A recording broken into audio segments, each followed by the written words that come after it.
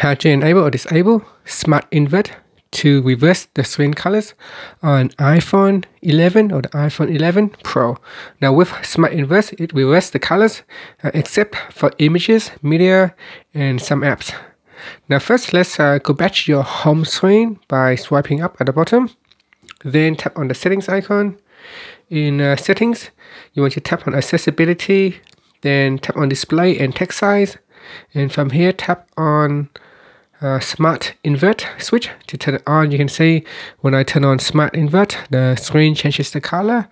And here, uh, you say that some uh, some of the photos or uh, some pictures will not uh, will not uh, be inverted. It will stay normal.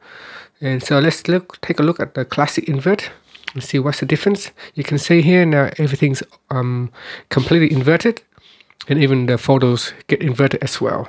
So that is the difference between the two. And that's it. So finally, you can just swipe up to go back to your home screen. Thank you for watching this video. Please subscribe to my channel for more videos.